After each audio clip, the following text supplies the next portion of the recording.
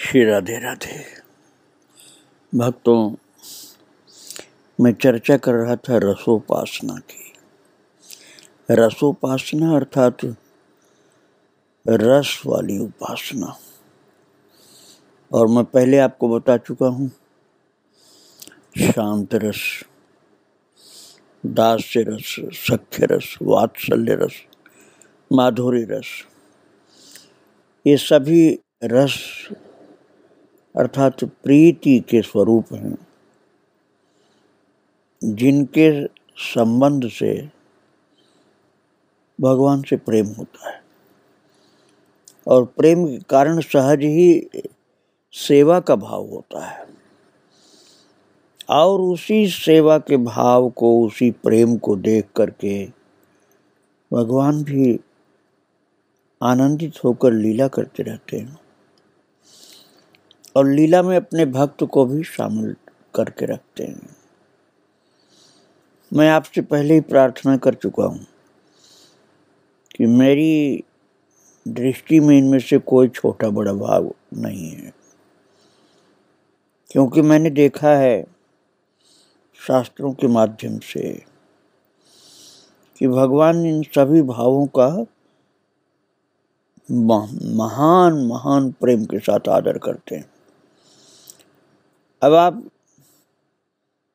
मेरी दृष्टि में जो है उसको समझने की कोशिश करिए। दास से भाव में श्री हनुमान जी हैं। अब आप ये गोपी को सबसे ऊँचा मानेंगे, माधुरी भाव को तो उस दृष्टि से दास्य भाव बहुत छोटा हो गया। क्योंकि माधुरी से छोटा हुआ वात्सल्य वात्सल्य से छोटा हुआ सख्य। और सख्य से छोटा दासी हुआ। लेकिन यदि ऐसी बात होती भक्तों तो हनुमान जी को भगवान श्री राम नहीं कहते, सुन कपि तो ही उरी न मैं नाही। हे कपि, हे हनुमान जी, मैं आपसे उर्ण नहीं हो सकता।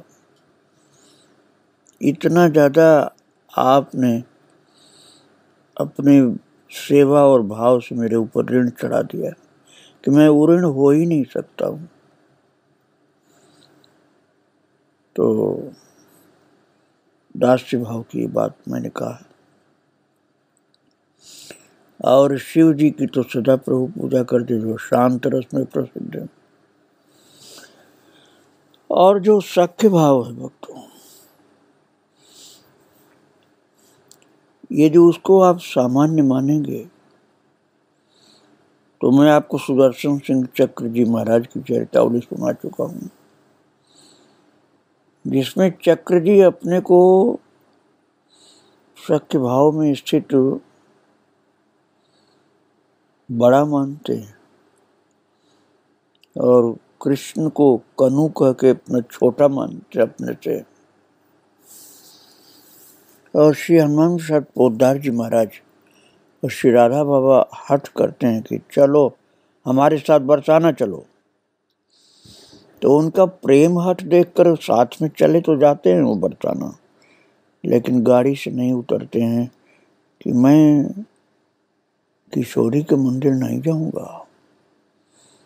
किशोरी के मंदिर जाने पर उसको जेठ जी को आया हुआ देखकर बहुत संकोच लगेगा। पर्दा करेगी शर्म लगेगी कि ये जेठ जी आ जाए हुए मेरे यहाँ। इसलिए मैं मंदिर में नहीं जाऊँगा। और मंदिर में न जाने पर भी राधा रानी ने अपने उसी पर्वत से जिस पर मंदिर है, ऐसा दर्शन दिया था भक्तों कि गाड़ी में बैठे हुए चक्र जी को कांच खोल करके जो पर्वत की ओर देख रहे थे, इसी भाव से देख रहे थे कि मेरी कनु की प्रिया, कनु अर्थात मेरे कृष्ण की प्रिया राधा इसी पर्वत पर रहती है। और ऐसी दृष्टि से जब देख रहे थे तो किशोरी जी अर्थात राधा रानी ने प्रकट होकर के दर्शन दिया था। आधा घूंघट करके, सिर झुका करके, हाथ जोड़ करके जेठ जी को प्रणाम किया था और भाव से भरे हुए श्री सुदर्शन सिंह चक्र जी अपने को जेठ जी मान करके दोनों हाथ उठा के आशीर्वाद दिए थे। सदा सुखी रहो किशोरी। लाली सदा खुश रहो। प्रसन्न रहो बेटा। अब आप ये समझिए कि ये सख्य भाव कैसे छोटा माना जा सकता है, जहाँ किशोरी जी प्रणाम कर रही हैं, जेठ जी को आदर दे रही हैं। भरपूर प्रसाद भेजा था। वह चरित्र मैं आपको श्री सुदर्शन सिंह चक्र जी की चरितावली में सुना चुका हूँ। तो शांत रस भी छोटा नहीं है शिव जी को भी भगवान प्रणाम करते हैं। और शिव जी बार बार दर्शन करने के लिए आते हैं। और दास रस में हनुमान जी से कहते हैं कि, सुन कपितो, उरिन में नाई और सख्य रस में अपने दाव की आज्ञा मानते हैं। और दाऊ बड़ा होने पर भी अपने कन्हैया के सुख की चिंता करता रहता है। सदा यही ख्याल रहता है कि मेरे कन्हैया को किसी प्रकार का कष्ट न हो। इसकी जो कीर्ति है, उसमें किसी प्रकार की कमी ना आ जाए। इसी भाव से कभी प्यार से डांट भी देते हैं दाऊ जी लेकिन जो मैं दाऊद जी का स्वरूप आपको सुना रहा था, उसमें तो आपने यही सुना था कि दाऊद जी छोटे से हैं। और लाला अर्थात कृष्ण, वो भी छोटा सा है। और कृष्ण कितना छोटा है कि पालने में लेटा हुआ। पलने में कहीं पालना बोलते कहीं पलना बोलते हैं, पलने में लेटा हुआ। और आप पिछले दृश्य में पहुंचिए, जो मैं आपको सुना चुका हूँ, कि वो छोटा सा दाऊ जो है ना, वो भी कपड़ा नहीं पहना है। और वो बिल्कुल पलने में जिसमें कृष्ण है, उनके मुख की तरफ़ मुख झुकाए हुए और कह रहा है कि मैं तो खेलता हूँ, मैं चलता हूँ तो चलता नहीं, खेलता नहीं, उठ उठ चल। अब चल नहीं बोल पाते हैं ना। दाऊ जी छोटे से हैं तो चल को तल बोलते उठ तल और, अत्यंत सुकोमल। लाला अर्थात कृष्ण अत्यंत सुकोमल है। दूध के फेन जैसे सफ़ेद, सुंदर से, मुलायम से बिस्तर पर लेटे हुए पलने में। अपने छोटे छोटे चरणों से शरीर पर पड़ा हुआ झीना सा पीताम्बर चरणों की तरफ़ ढकेल दिया। और बार बार चरण उछाल रहा है बार बार चरण उछाल रहा है। और दोनों हाथ नन्हे नन्हे हाथ उठा रहा है। दोनों नन्हे नन्हे हाथ उठा रहा है, खुश हो करके क्योंकि दाऊ जी अपना सिर झुकाए हुए खड़े हैं ना पलना पकड़ के। अभी तो दांत भी नहीं है लाला के मुँह में। तो दंतहीन छोटा सा मुख बार बार खोलकर तिलक रहा है और देख रहा है स्थिर दृष्टि से दाऊ के भाल पर लगे कज्जल बिंदु को। क्योंकि दाऊ के भाल अर्थात ललाट पर मस्तक पर जो मैया ने एक काजल का छठों से बिंदु लगाया है ना किसको नज़र न लगे। तो दोनों हाथों से लाला अर्थात कृष्ण जो पलने में हैं, दोनों हाथों से दाऊ के ललाट में लगे हुए काजल के नन्हे से बिंदु को पकड़ना चाहता। बार बार दोनों हाथ चला रहा है और दाऊ के माथे में लगे हुए काजल के बिंदु को पकड़ने की कोशिश कर रहा है। तो और झुक गया दाऊ। और झुक करके पलने में कतल, तल। अर्थात अब तू चल, यहाँ खेलने से नहीं काम चलेगा। निकल, बाहर निकल। और उसका मुख, छोटे भाई के मुख के पास आ गया बिल्कुल। नन्हे कोमल श्याम के कर, कभी उसके नेत्र, कभी भाल, कभी नासिका छूते हैं। और कभी अलकों में भी पतली उंगलियाँ उलझती किलक रहा है वो सुकुमार छोटा सा।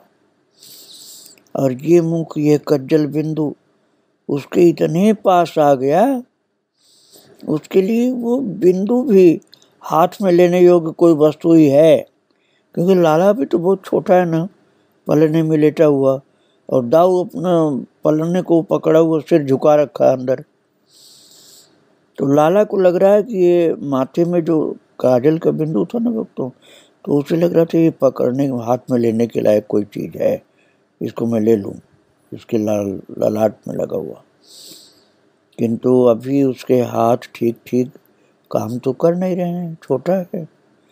तो उसकी नन्ही उंगलियाँ भी कोई वस्तु उठा भी नहीं पाती हैं। बस कोशिश में लगा हुआ है। और भक्तों, तब तक लाला के हाथ में दाऊ के जो अलका, अलके हैं ना मतलब बाल है जो कोमल कोमल जो केश हैं, सिर के, बस वो मुट्ठी में आ गए लाला के, और भर मुट्ठी पकड़ लिया। बड़े भाई की अलके मुट्ठी में आ गए अब उन्हीं को खींच रहा खींच रहा, और दाऊ सिर झुकाया जा रहा झुकाया जा रहा कि मेरी, मेरे बाल खींच रहा है चलो इसको खींचने दो। हंस रहा दाऊ। दाऊ हंस रहा, खूब किलक रहा है। ये खींच रहा है, मेरे बाल खींच रहा है। और फिर कहने लगे, दाऊ, अरे छोड़ अरे छोड़। अभी से इतना चप्पल है, इतना नचकट है। मेरे केस खींचे जा रहा है। और दोनों किलक रहे हैं महाराज। दोनों हंस रहे हैं। लाला खींच खींच के हंस रहा है और दाऊ खिंचवा खिंचवा के हंस रहे हैं। अब कहते, छोड़ छोड़, क्यों रे? तो दादा के केस खींचता है। मैया ने हंस करके दाऊ की अलके अपने लाला की मुट्ठी खोलकर छुड़ा दी। क्योंकि लाला ने बहुत कस के केस पकड़ा था तो दाऊ छुड़ा ही नहीं पा रहा था। तो मैया हंस करके दाऊ की अलके लाला की मुट्ठी थोड़ा सा खोल करके छुड़ा दी। और फिर दाऊ हंसने लगा अच्छा मेरे केस खींचता है। उठ। ये केस खींचे या नाक नोचे? है बहुत प्रिय। दाऊ इसके साथ खेलना चाहता है। इसे छोड़ करके कहीं जाते नहीं बनता उसको।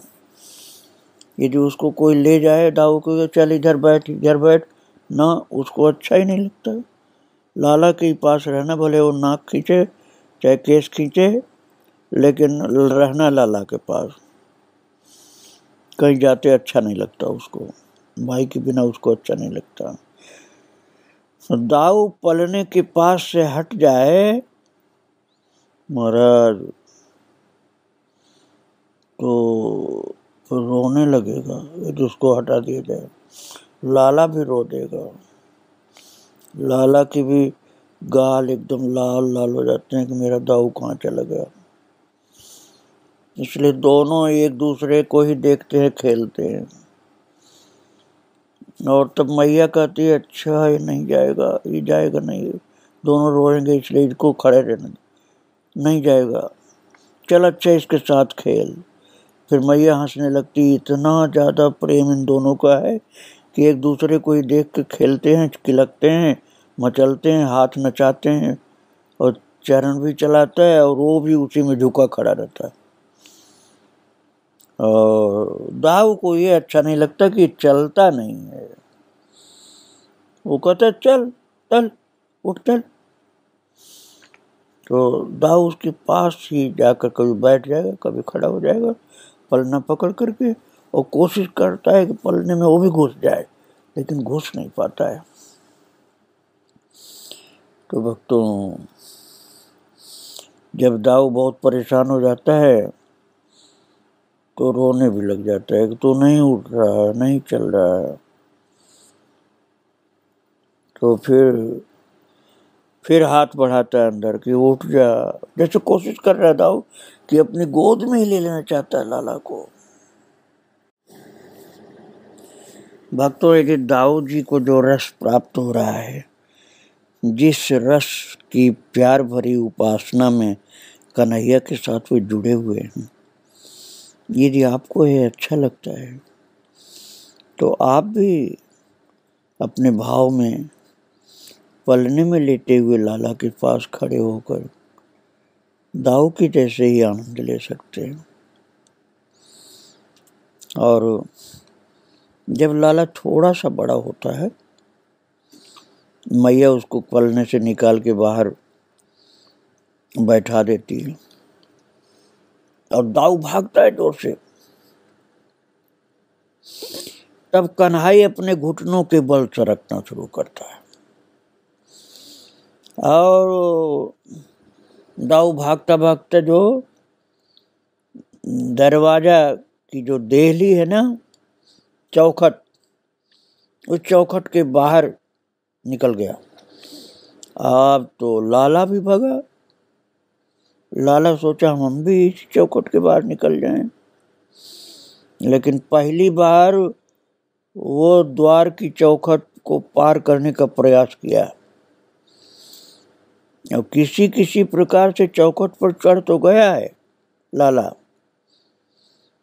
लेकिन हाथ के बल, पेट के बल किसी तरह से चढ़ा, आधा शरीर पार हुआ। किंतु अभी उस पार उतर ही नहीं पाया। अब चौखट पर बड़ी असमंजस में पड़ा हुआ लाला कि पेट फंस गया उसका। न आगे उतर पा रहा न पीछे जा पा रहा कभी हाथ झुकाता है, कभी पैर लटकाता है। बहुत ऊँची है चौखट अभी इसके लिए तो। अब जब कोई बस नहीं चला तो मोहन ऊ ऊ ऊ करने लगा। और वो घर में और बाहर भी देखता जाता है। कोई अरे उसकी सहायता कोई क्यों नहीं करता मन में सोच रहा है। अब वो उसका बड़ा भाई आ गया तब तक। दाऊ दौड़ करके आ गया। परंतु दाऊ घर की ओर खड़े होकर ही मोहन की गोद में लेना चाहता है। और शाम को आज द्वार से बाहर जाना है। और दाऊ खड़ा है घर की ओर अं-, अंदर की ओर। और श्याम चाहता है कि घर के बाहर चलूँ, और दाऊ तो घर के बाहर नहीं खड़ा, अंदर की ओर खड़ा। तो बड़े भाई की ओर देखता है। अभी तो बोल नहीं पाता ना सही ढंग से। नहीं तो बोल देता कि मुझे बाहर लेके चलो, तुम अंदर क्यों खड़े हो? तो इशारे को समझ लिया। दाऊ ने लाला का इशारा समझ लिया। बोला अच्छा तू बाहर से बाहर उतरेगा बाहर उतरेगा। तो स्वयं द्वार से बाहर आकर के दाऊ जी ने हाथ बढ़ाया और श्याम की दोनों भुजाएँ गोद में आ जाने के लिए उठा ली। दोनों भुजाएँ, श्याम की छोटी छोटी भुजाएँ उठा ली और कोशिश कर रहा है दाऊ कि मैं इसको उठा के ले चलूँ गोद में। वैसे तो बल नाम है इनका, बल मतलब बलराम, बल नाम है इनका। लेकिन अभी तो छोटे हैं ना तो अभी तो दिगंबर शिशु हैं, कपड़ा तक भी नहीं पहनते हैं। मैया कोई कोई कपड़ा ज़रूर कमर में बाँध देती है, लेकिन वो भी खुल के गिर जाता है। तो अभी लाला को उठा नहीं पा रहे। इतना शरीर बड़ा तो है नहीं कि छोटे भाई को पूरा पूरा उठा सके। अब श्याम सुंदर को भुजाओं में कंधे के पास से पकड़ करके भर लिया। और उधर के सहारे मतलब पेट के सहारे अपने धीरे उतार रहा है किसी प्रकार। उठा तो पाया नहीं सही ढंग से, चिपकाया है पेट में। और कृष्णचंद्र बड़े भाई की दोनों, बड़े भाई को दोनों हाथों से पकड़े लटक रहा है। और चौखट से उतर जाने पर मोहन ने दो क्षण देखा उस चौखट को। चौखट से उतरना बहुत बड़ा काम था उस समय। आप हल्का फुल्का काम मत समझ लेना। बहुत बड़ा काम था उस समय चौखट को पार करके उस पार उतरना घर के बाहर। बिना भाई, बड़े भाई के उतरना ही मुश्किल था, असंभव था। अब बड़े भाई ने पूरा ताकत लगाया, पेट से चिपकाया, खींचा तो उस पार जब उतर गया लाला तो उतरने के बाद घूम करके चौखट को देखा ऐसे, कि अरे कितना ऊँचा है ये। आज तो मैंने जैसे जैसे कोई पहाड़ पार किया हो ना, जैसे कोई बड़ा ऊँचा पहाड़ पार किया हो, ऐसे लाला देख रहा है चौखट को, अरे कितना ऊँचा है ये। और बड़े भाई की ओर देखकर हंसा। लाला हंसा बड़े भाई की ओर देख के और फिर सरकने लगा। यथा संभव शीघ्रता से द्वार से दूर, खूब दूर भाग जाना चाहता है वो। बहुत दूर भाग जाना चाहता है, आज तो बहुत दूर। और दाऊ चल रहा है, अपने अनुज के पीछे पीछे क्योंकि अनुज जो अर्थात लाला जो तो घुटने के बल भाग रहा और दाऊ खड़ा होकर चल रहा है। और श्याम सुंदर पीछे मुड़ मुड़ करके बार बार देखता है कि दाऊ कितनी दूर है, मुझसे दूर तो नहीं चला गया कहीं। और फिर देखता है उस चौखट को कि मैं कितनी दूर आ गया आज बाहर। मैं तो आज बहुत बाहर आ गया, मैंने बहुत बड़ा काम किया। और द्वार से कितनी दूर चला आया। और ये देख देख के प्रसन्न हो रहा है मन। कि आज तो मैं चौखट पार करके इतनी दूर आ गया और दाऊ पीछे पीछे चल रहा है। महाराज, इस तरह से ये दोनों भाई जैसे एक दूसरे के सखा हैं, ऐसे आनंद ले रहे हैं। और वो दाऊ भी कहता, आ चल आ चल। और नन्हे से नंग धड़ंग दाऊ ने अपने छोटे भाई के दोनों हाथ पकड़ लिए। और उसे चलना अब सिखा रहा है। खड़ा हो जा, खड़ा हो जाओ घुटने के बल चलेगा। खड़ा होकर चल। और श्याम सुंदर बड़ा प्रसन्न। हंसे जा रहा है हंसे जा रहा है लाला। कि आज दाऊ दोनों हाथ पकड़ लिया इसका और खड़े होकर चला रहा आटपटे चरण रखता है। कभी इधर, कभी उधर, लड़खड़ाते लड़खड़ाते। अटपटे चरण रखता रखता, हिलता डुलता हिलता डुलता चल रहा है। अग्रज के हाथ के सहारे, अर्थात दाऊ के हाथ के सहारे लाला चल रहा है। अब दाऊ बोल रहा है, चल तू, चल। अब दाऊ अभी कहाँ समझ पा रहा है कि कन्हई उसकी गति से नहीं चल सकता है। क्योंकि दाऊ छोटा है ना, वो भी तो लाला ज़्यादा छोटा, दाऊ उससे थोड़ा बड़ा है। और दाऊ सोच रहा है कि अरे, मेरे बराबर क्यों नहीं चलता ये? मेरे बराबर क्यों नहीं चलता? ये तो चल ही नहीं पा रहा है। ये लड़खड़ाता क्यों है? तो दाऊ कहता, ठीक से चल, जैसे मैं चलता हूँ। तो अनेक बार लगभग घसीटते हुए, आगे को झुके हुए, श्याम को चलना पड़ता है। क्योंकि दाऊ तो छोड़ता नहीं, चला रहा उसको। तो श्याम बार बार आगे झुक जाता है। और कभी कभी तो घसीट जाता है, फिर भी चलता है, क्योंकि दाऊ थोड़ा अधिक गति से चलता है।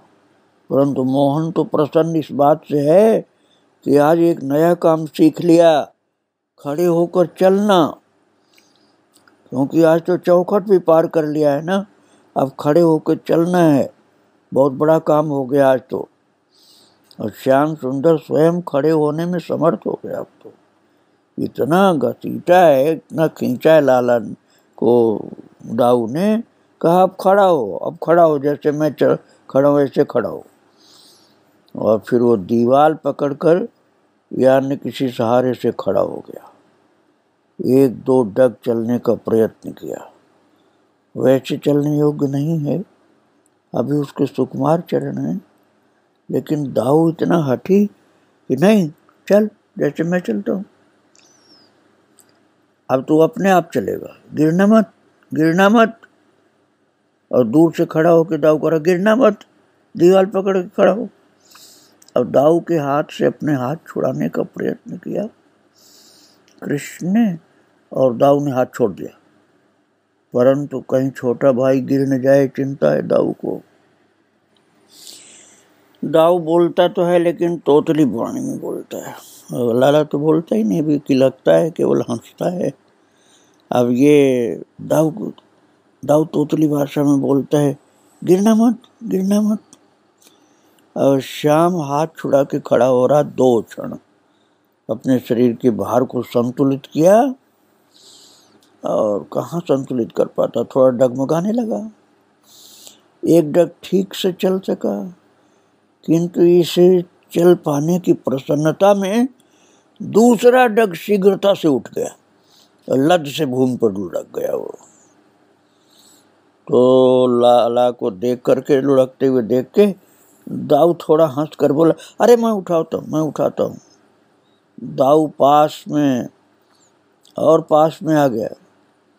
और ये कनू गिर कर भी हंस रहा है, क्योंकि दाऊ भी हंस रहा था ना तो लाला रोया नहीं, वो भी हंसने लगा गिरने पर भी।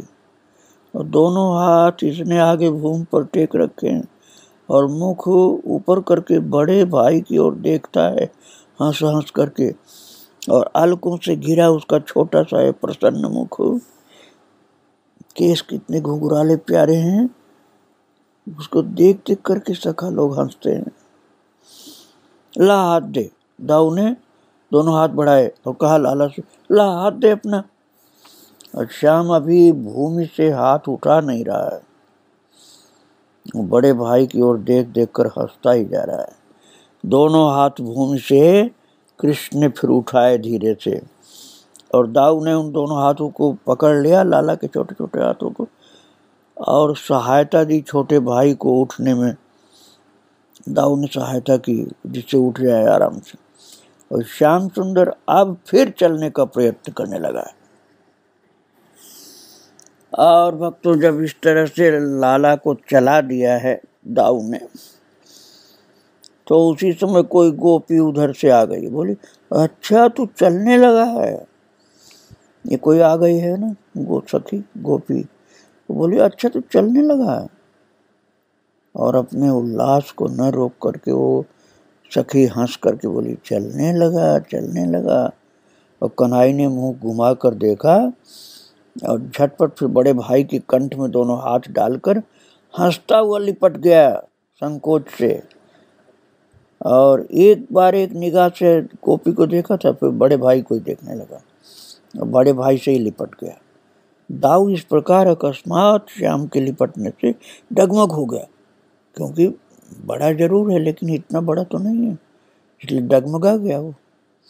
और छोटे भाई को दोनों भुजाओं से समेट कर वो स्थिर रहने का प्रयत्न करने लगा। इस तरह से भक्तों, ये भाई भाई सखा की तरह से रह रहे हैं ना, क्योंकि चिरंतन सखा है। इसी झांकी को अपने हृदय में रखिए आप। आगे इस सख्य रस की बात को मैं और सुनाऊँगा।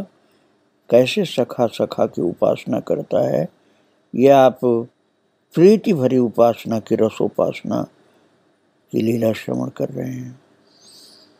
बारंबार प्रणाम इन दोनों निरंतर चिरंतन दिव्य सखाओं को। श्री राधे राधे, जय श्री राधे राधे। आगे का चरित्र फिर आप श्रवण करेंगे।